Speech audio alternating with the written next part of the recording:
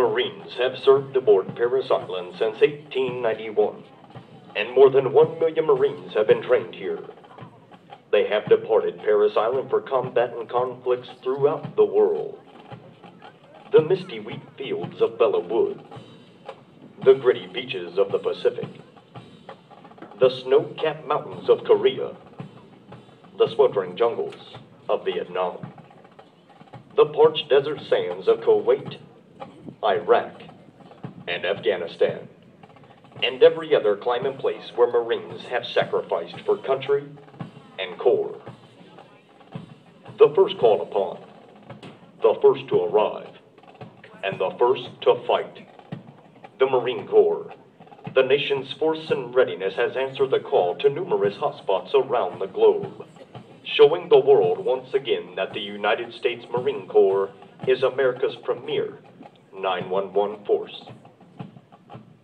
This island is so rich in history, so rich in tradition, that no Marine trained here ever forgets the sights and sounds of it. Marching on to the parade ground is Company L and Company P. They began their training on the 17th of July 2012, and today's graduation marks the end of a demanding and difficult 12 weeks of training for them.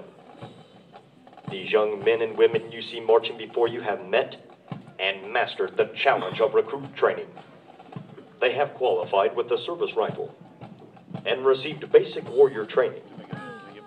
They have completed over 200 hours of academic instruction and participated in a rigorous physical training program that has developed their strength and stamina for the challenges ahead. Core values has been instilled in each of them. The meaning of honor, courage, and commitment. Marching before you this morning are 712 success stories, each of them a testament to the physical courage, dogged determination, and unyielding commitment to excellence that define the title Marine. This is what they have striven and persevered for the right to walk across this parade deck as Marines. They have earned this title through demonstrated courage and achievement, and now join the proud ranks of over 1 million Marines who have graduated from Parris Island. From this day on, they will carry on the proud legacy and history of the United States Marine Corps. Ladies and gentlemen, the Marines of Company L and Company P.